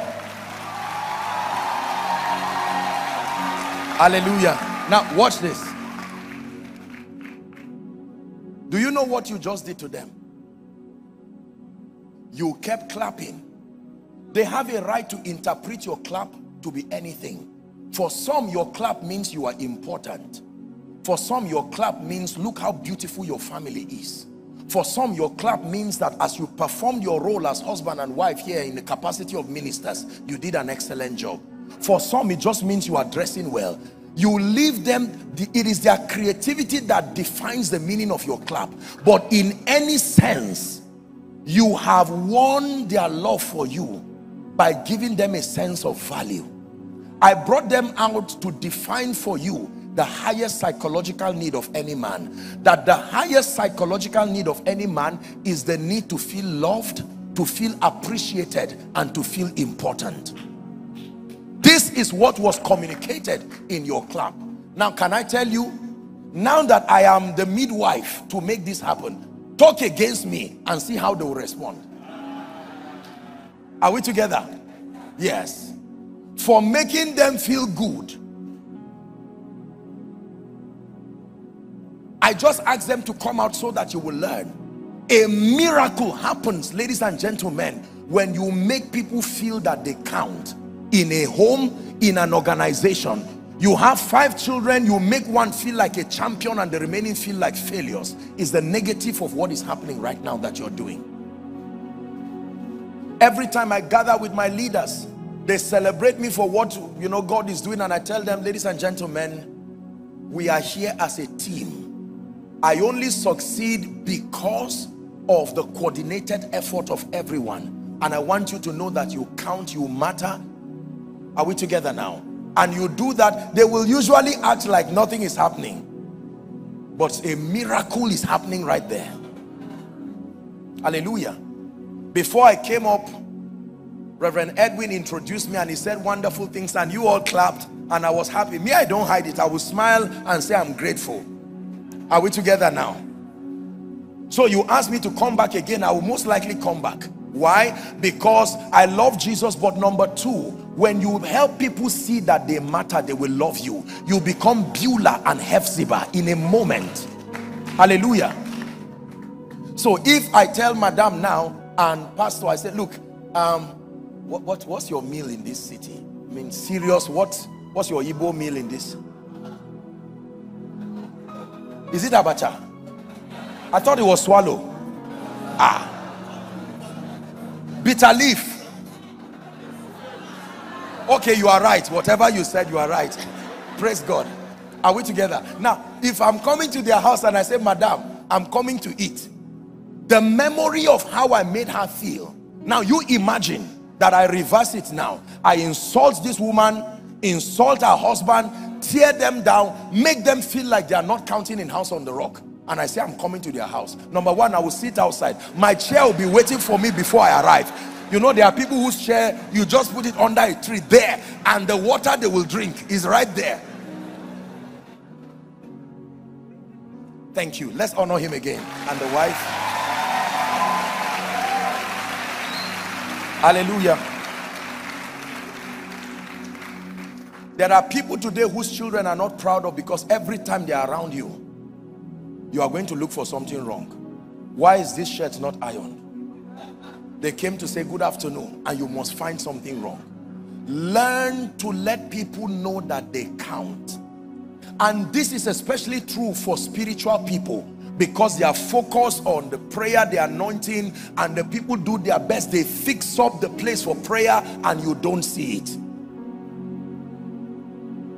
We are focusing on Jesus, they don't see it. Your wife dresses, she gives her best. It's true you are going for a prayer meeting, but take out time to see. Mm -mm. And women, you too, the man too does his best, at least the best he knows to do. It may not be your best, but the best, and then you are not seeing it. Last week, the battery of his watch died. This week, he had fixed it. You didn't see the difference. are we together? Can I tell you the truth? There is always tension when someone's worth is downplayed. In many, everywhere you find tension in an organization, it is because someone is intentionally downplaying another person. That is why in complimenting people, psychologically, leaders, if you want to lift someone and compliment the person uniquely, start by sharing a general compliment first so that everybody can savor the one you gave. Then they will now join you to uniquely appreciate that one person. Over celebrating one person in the presence of people is dangerous no matter how effective. I know that you have one child who is always taking first position while the rest share the rest. Be careful. Are we together now? Don't over celebrate that one and say this is daddy's boy give me five. The remaining are what now. And you see you are doing something to them. I pray for you. You pray for me. I love you. I need you to survive.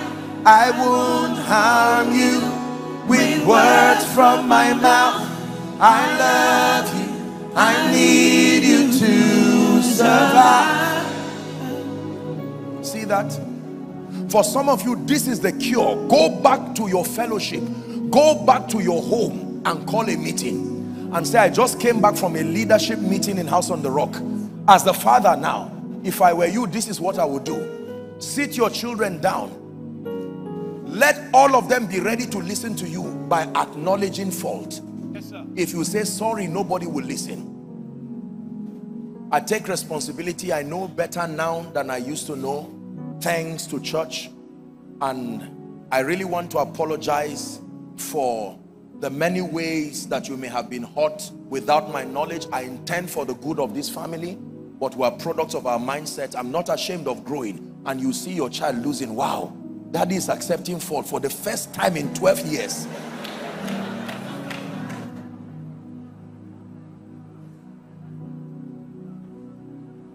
I'm, tent, I'm tempted to teach you four expressions.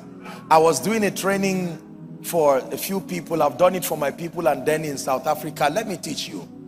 There are four expressions. Use them this night. Use them now and you will watch the miracle that happens in your life. Can I give it to you? Number one, please. P-L-E-A-S-E. -E. Everyone, write it down. You will be surprised how many doors the word please will open for you. Nigerians, learn it. Please say it. One more time. In the name of Jesus, say it. Please is an expression of courtesy. You become an exceptional leader when you learn to use the word please. These are miracle expressions. When you tell people please, it's a sign of courtesy. It adds to strengthening their sense of significance please could you shift here? Don't say shift. now. And then baba baba baba prayer is going on. Shift. Are we together? You pick up a call and you want somebody you don't you're out of unit. Call me call me call me and you off the phone. He never calls you again. And the miracle at the other side of the phone goes with the person's annoyance. One more time say please. To your wife say please. To your husband to your children. As a man of God please a sense of courtesy. Number two, thank you. Thank you. Not thanks, thank you. Nigerians, thanks. someone will spend two weeks begging you for money harassing you with scripture the bible says be good to all men it says when it is within your power pastor you are the one that did this and you finally send the 10,000 naira then by night he now sends one word thanks no. No. This is a leadership training.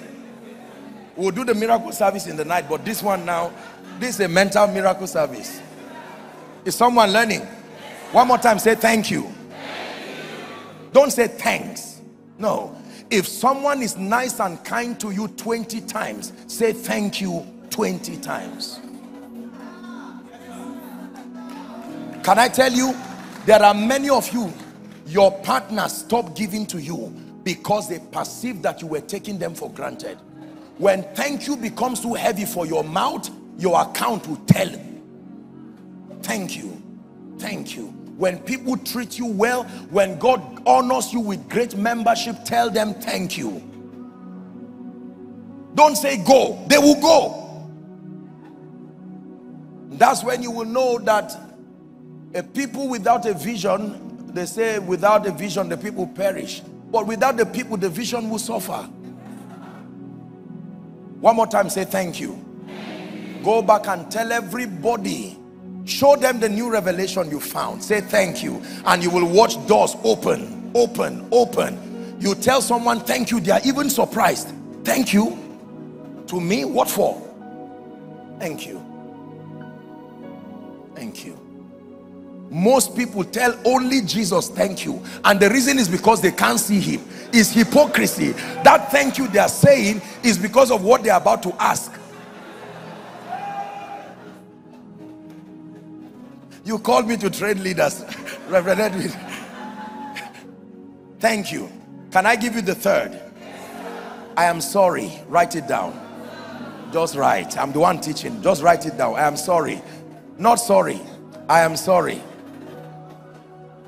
The expression I am sorry is a miracle. Look at me, please. Please look at me. Is someone learning? I am sorry puts you in a position where you are vulnerable without shame. That means you let people know that we are all human. We see in part and we prophesy in part that no matter how great the best of us is still human when you say i am sorry you bring people to a point where they are reminded that just like you they are human and that to err is human we say but then to forgive is divine. One more time say i'm sorry. Nations have gone to war because one person was too proud to say i'm sorry. With all due respect not to play with your mind but there are marriages today that would have worked if only one person. I am sorry does not mean i'm the one who is wrong. Sometimes it means i'm the one who is wise. I am sorry is not always about the offender offending who is now the offender now english people teach me well, one, the person who caused trouble and the person who trouble was caused over. Are we together? Say, I'm sorry. Someone who has been sponsoring you and you never acknowledge the person, now the person is pained and angry and you say, are we not humans? That is not, I'm sorry. No, I'm sorry, sir. I'm sorry for not being thoughtful. I have learned, I came to church and now I've been mentored and I'm just here to say I'm sorry. So the healing power of I'm sorry is as powerful as the healing anointing. Did you hear what I said? The healing power of I am sorry what I am sorry does is almost the same thing as what the healing anointing does the healing anointing can heal the body but my goodness, there are souls that can be healed by telling people I'm sorry. The moment you say I'm sorry, the person at the other end becomes foolish if he continues from that point.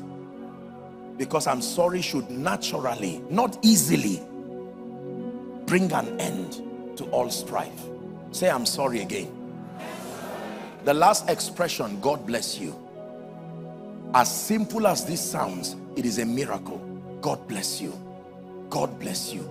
God bless you contains three powerful words. One, God. Two, bless. Three, you. God bless you. Three words that if properly combined can produce a miracle in the mind of the hearers. God bless you. That means you can be better today than you were yesterday because I've introduced God, I've introduced his blessings and it is all directed to you. Listen to me. If you leave this place just learning these four expressions alone, you did not waste your time this morning. It will turn your leadership to a miracle. You will manage crisis. Most people think it's all about just prayer and fasting. No there are times this is the wisdom of the just that the bible talks about hallelujah. I have used this as a person and in leadership and i have watched it work wonders in my life. Let me give you the last mandate of leaders and then we wrap up for this morning session. Are you ready for number three? I want you to pay attention to this third one. Visionary leaders build models and systems. Visionary leaders build models and systems that guarantee succession and continuity. Visionary leaders build models and systems. Please write it. They build models and systems that guarantee succession and continuity. When everything ends with you or ends with your absence, you failed as a leader. Africa, Africa, may we arise in the name of Jesus. Do you notice that in many families, with all due respect, you will hear that a man in his lifetime was a billionaire and he will make the money in his lifetime, spend it in his lifetime, finish it in his lifetime and die and the next son starts. He doesn't even start from zero. He starts by managing the father's enemies and uses 20 years of his life to tell them sorry before he starts building his own life. This is what we see in Africa are we together? Visionary leaders think beyond themselves. They build systems. If your absence collapses a ministry and an organization it means you are an idol in that ministry not a leader. Are we together? Yes. I told my people years ago that if they do not see me this is way before we left zaria that if they do not see me the only thing they should miss is my unique contribution not a collapse of the purposes of god. Leaders look beyond themselves. They are passionate about raising transforming followers to leaders and then leaders to agents of transformation. I learned that from late dr Myles Munroe. hallelujah. Who can do what you are doing to allow you rest there are people in their old age they, they wake up in the morning like young people stressing themselves because they spent their life being so self-centered and they forgot that one day their physical strength will deplete. Hallelujah. Who did you raise? You became a millionaire you did not reproduce that grace and that understanding in three or four people. They would have helped you today that you are resting. Are we together? How about men and women of God isn't it terrible if I'm not able to make church on Sunday and everything goes down because of my absence? It means I've been directing the people to me, not Jesus. Are we together? Leaders build systems. Say systems. Say systems. Say models. I'm very honored when I learn sometimes that Reverend Edwin, you know, he travels, you know, to see his family and do other and, and to do other things. And he told me yesterday, and he said that a number of times how that in his absence there is already a structure in place. That is very powerful. And I must commend Igbo people as a nation for having that understanding. I think you have a system. I see that work even and, and I'm saying that honestly so. That a man can start with one store you know that's a Jewish system is still is practiced in Israel even up until now. Yes it's true. So one store and then he will get, um, um, I, if I understand you correctly, maybe two or three people and then train them pragmatically.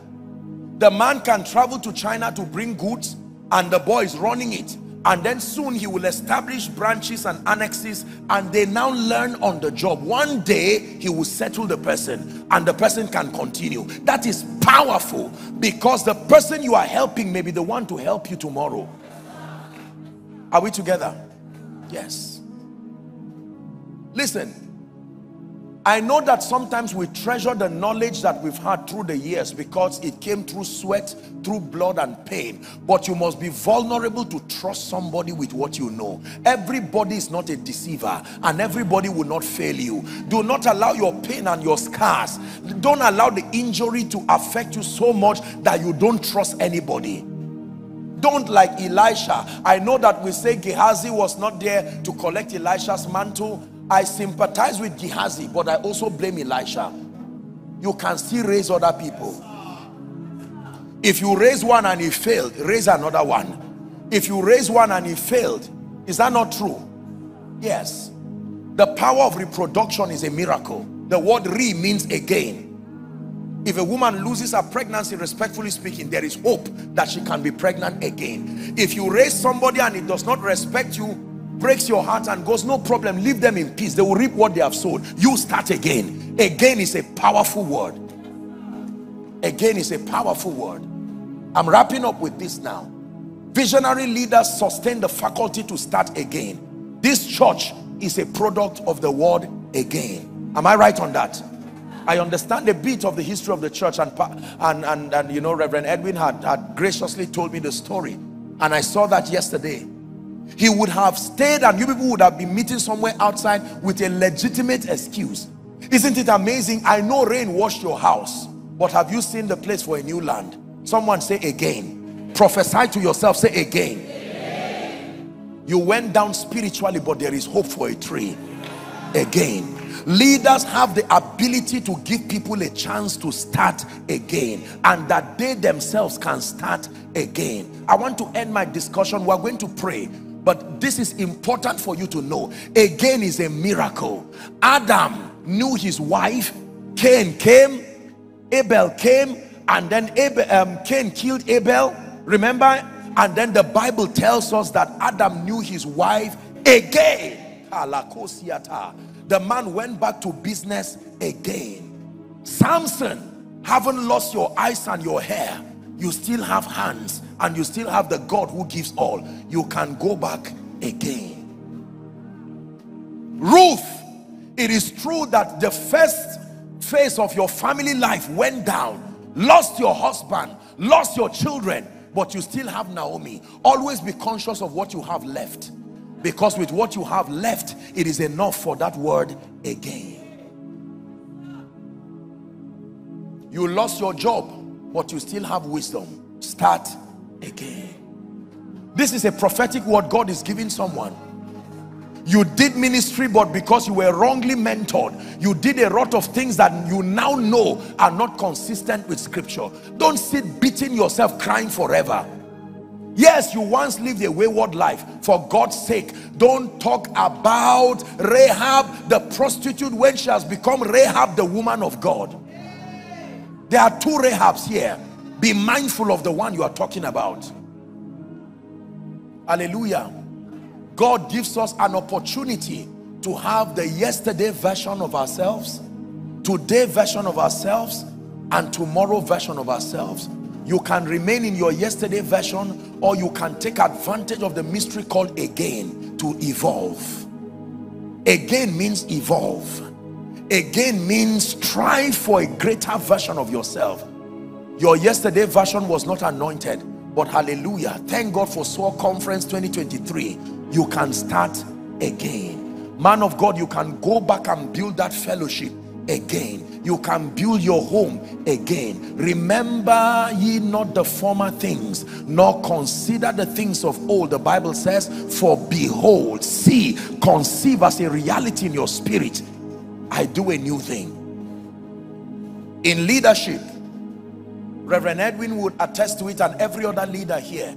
There are moments where you will have to give people a chance. People will make mistakes. Perhaps you as the leader yourself, you will make all kinds and all shades of mistakes. Can I tell you? The moment you learn your lesson and draw wisdom from your pain, you have cheated it. lamenting and crying over yesterday you carry 10 million naira and put it in a wrong business and put it in a wrong investment how long will you keep crying? Hallelujah. How long will you keep crying? David i know you prayed and prayed and prayed that the child would not die but the child is now dead. Stop watering a dead plant. It is dead. Start finding seeds quickly before another harvest will come and you have not sown anything you can try to water a dying plant hoping that it will come back but when it is dead it is dead. You can use that dead plant as the manure for the next plant and get seeds. Listen today God has helped us to be leaders not because we had perfect people around us and not because we were perfect ourselves. Are we together? But this mystery again archive it in your mind add it in the bag that you use to sojourn in destiny. You will need it. Give people a chance to make honest mistakes. Give people a chance to disappoint you honestly and give them a chance to recover. This is what happened. If i believe if judas had gone to jesus judas would have become apostle judas. I don't know who asked him to kill himself. He lost the money, he lost his life, he lost his bishopric. Peter who told Jesus, I will not leave you. Remember? He ran away and because of his fear, he called a young girl woman because he was running away from Jesus. All in an effort to deny Jesus. But after all of that, he went back to fishing and look at Jesus. I like the leader Jesus, not just the savior Jesus. Jesus is now back to life and he goes to the seashore and says little children have you any catch? Not even recognizing it was him. He said cast your net to the right side. And when they caught so much fish Peter discerned who else can do this kind of miracle?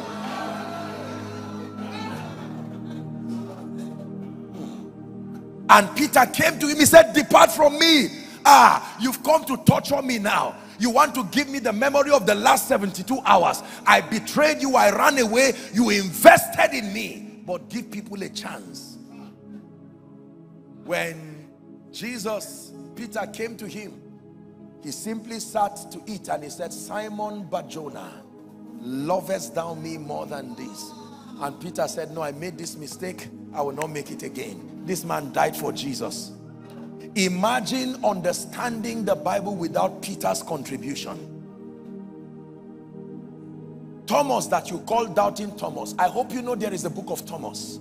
It was not canonized to become part of the 66 books, but my goodness, Bible history tells us that that man Thomas was a mighty man. He was powerful. One time, eh, history tells us that he literally laid hands on someone to cast out a spirit and a physical object came out of the person.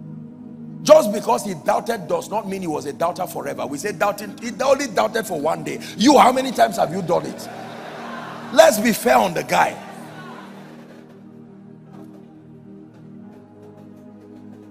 Hallelujah. Can I tell you?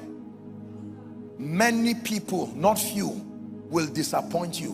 When the Bible says to put a breastplate of righteousness, do you know why there will be many piercings on your chest? As a leader you need to put it. You will raise people who would downplay your contribution. Leaders bleed and cry all the time. There are others who have even carried pain and shipped that pain to their children their wives their husbands. You will find people disappoint you in organizations. Some of you are seated right now and you almost cannot manage the pain that has come. You gave someone money he ran away with it he cheated you lied against you did all kinds of things my assignment as I wrap up this leadership session is that you cannot keep crying forever. No. Jesus wept, but not forever. If he kept crying, he would not become a savior. He will remain Jesus the baby. The first time he cried was when he was born. The second time he cried was when he was in pain with Lazarus. The third time he would cry, he was in Gethsemane for the sake of his assignment. These are the only three reasons why you should cry. You should cry because you are a child ignorance. You should cry because you are moved with compassion. And sometimes you cry because of the burden of your assignment. Any other reason is not valid. Hmm. Is this a good place to wrap up? Has God spoken to someone? Listen, the only thank you gift that you can give Reverend Edwin is to go back and listen to this teaching. I know you are motivated now, but you may forget in search of a miracle by night. Go and get this teaching. After this conference, be like the wise men. Listen to it again. Gather the people in your organization I've done the speaking for you. Sit down with them and say, nobody goes out. You people are listening to this. In the name of Jesus, let them sit down and listen to it and cry while they listen, make resolutions while they listen, and you pray and reform your organization for the next level. I conclude by challenging you that leadership is a noble responsibility. You have the opportunity to serve your nation with what God has given you serve your generation with what God has given you and inspire others to do same at the end of your life you will be known for only two things the problems you solved and the ones you created. Hallelujah. The hymn writer says thus would we pass from the earth and its toiling only to be remembered by what we have done not just what we said not just what we wished but what we did. At the end of my life it's my commitment to do the best that I can, helping and inspiring my generation to love Jesus, to serve him, and to know that there is no limit to the life of the believer who is in Christ. And this is what I'm committed to doing as a man of God and as a leader. And I've come to share Reverend Edwin's passion even at this SOA conference. My prayer for you sincerely from the depth of my heart is that with these redefinitions and these reorientations that you have received that it would have positioned you to become an exceptional leader in the home front in business as a student as an entrepreneur as a man of God in whatever capacity you have to serve you should know that there is a call and there is a beacon upon your destiny to be the light indeed let's rise as we pray you are the covenant keeping God. Please hold hands with someone. You are the covenant keeping God. Yahweh, Yahweh, the covenant keeping God. Yahweh, the covenant keeping God. One more time. You sing you are the covenant keeping God. You are, you are covenant keeping God. Oh Yahweh, Yahweh, the covenant keeping God. Oh Yahweh, Yahweh, the covenant keeping God. Now you see that behind everything that works is not just anointing the value of anointing is that these preparations have been made first hallelujah. The quality of the vessel that receives the oil is what gives credence to the oil. If a poor and ill-prepared vessel receives the oil it will make it look small. God has expanded your mind preparing you for tonight. There are many of you the grace that is upon you in terms of ministry. Let me tell you the truth. I have seen this many times in my vision that there are still mighty people. The ones you know are only the least of the crop of people God is training. But for many you have mastered the art of the altar but you may have ignored leadership. Is why you cannot scale the vision that God has given you to rise to a point of notoriety for the king there are great businesses here serving this city with products that is needed by all transcontinentally. But because you lack this acumen of leadership, you're not able to rise and scale your business. The labor of the fool, I make reference to the scripture that Reverend gave to introduce me. Wearieth every one of them with no exception. He says, because he knoweth not how to get to the city when I discovered the call of God upon my life, I cried unto the Lord to show me all the ingredients that make for an excelling ministry. All that I knew was the areas of consecration and the word of God and prayer.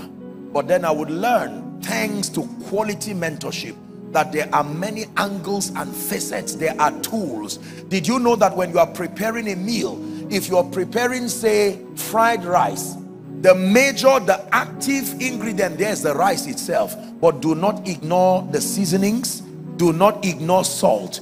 If you boil rice alone it is not fried rice. It is rice tasteless rice. Am i right on that? You serve that one at the table and you would think that just because rice the major ingredient is there you cooked well. You didn't there are many ingredients required for our overall excelling. Your assignment is to pay attention to every one of them including the supposedly insignificant ones. We emphasize others like prayer and worship and word and character which is very important. But do not ignore leadership. Do not ignore all of this. They will open the gates of nations to you. They will bring helpers who will help you in the war pray for yourself in one minute. Father now that i have heard these things may i be happy as i obtain grace to do them. Go ahead and pray. Some of you perhaps you are hearing some of these things not for the first time but you have ignored them and you did not place value on them. Here is god giving you another chance to rewrite your story to redirect your destiny. Is someone praying? Go ahead and pray. Pray passionately as we prepare for the night we're trusting God for an outpouring in this place tonight. We're trusting God to bring his word again. Hello. Scriptures exhort us from the book of Proverbs. It says, My son, attend to my sayings, incline thy ears to my words.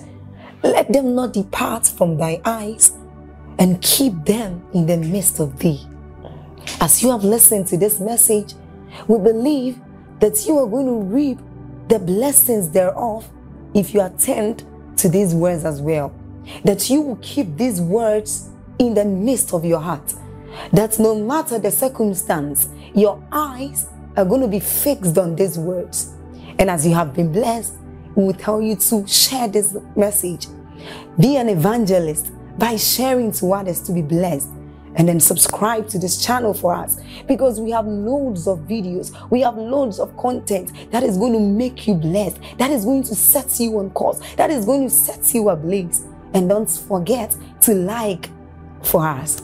Thank you